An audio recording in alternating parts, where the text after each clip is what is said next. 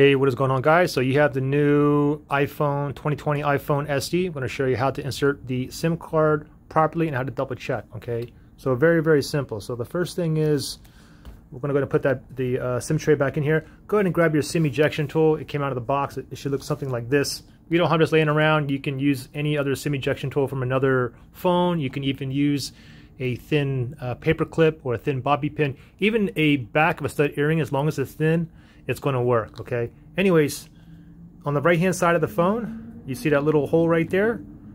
And you can see the, uh, the SIM tray right here as well, the little outline. We're going to go ahead and pop the needle in here, and then we're going to put, a, push a little bit of pressure in here until the lip pops out like that, okay? Now you can just go ahead and pull it out just like this. Now what I want to do is leave it, as soon as you pull it out, leave it just like this. Then I'm going to go ahead and grab your SIM card. Now, if you look at the, uh, the SIM tray here, the top right hand side has that slit, okay? And you see the slit right here on my SIM card, top right hand side. So you want to do is place it exactly on here, just like this, okay? And, and it just lays here, okay? If you turn it upside down, it's going to fall out. So you, you have to just be careful. Just make sure it's nice and flush. Don't tip it over.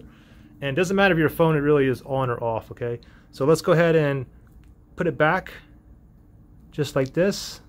I'm to slide it in here.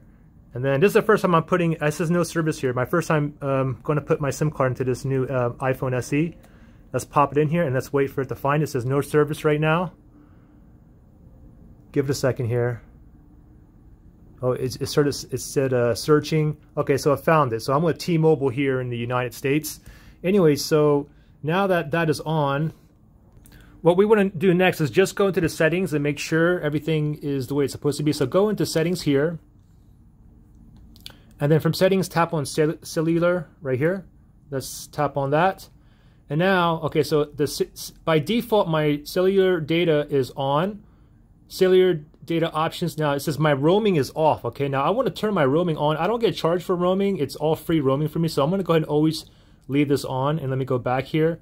And also, if you go ahead and look down here, you can see my network selection. It's automatically on T-Mobile. So there you go. Pretty simple. Everything's up and running. Any questions, issues? Comment below. All right.